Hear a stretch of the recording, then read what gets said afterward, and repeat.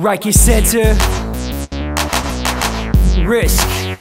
This are the players of the week. Huh. City Leagues being represented by Joe Sullivan. One man show could have done it solo man. Senior captain pitcher dominating the picture, twisting batters around as some sauce with a mixture. It's so easy to see the discrepancy between Joe and whoever he faces. They falling like they haven't even tied their laces. You feel lonely sometimes with those empty bases. Next player up got some magic, she's mystic. Can't nobody even challenge this shit.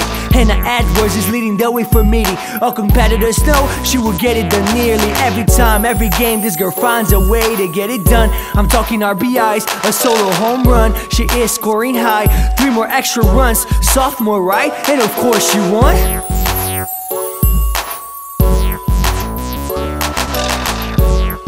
Yeah. Isaiah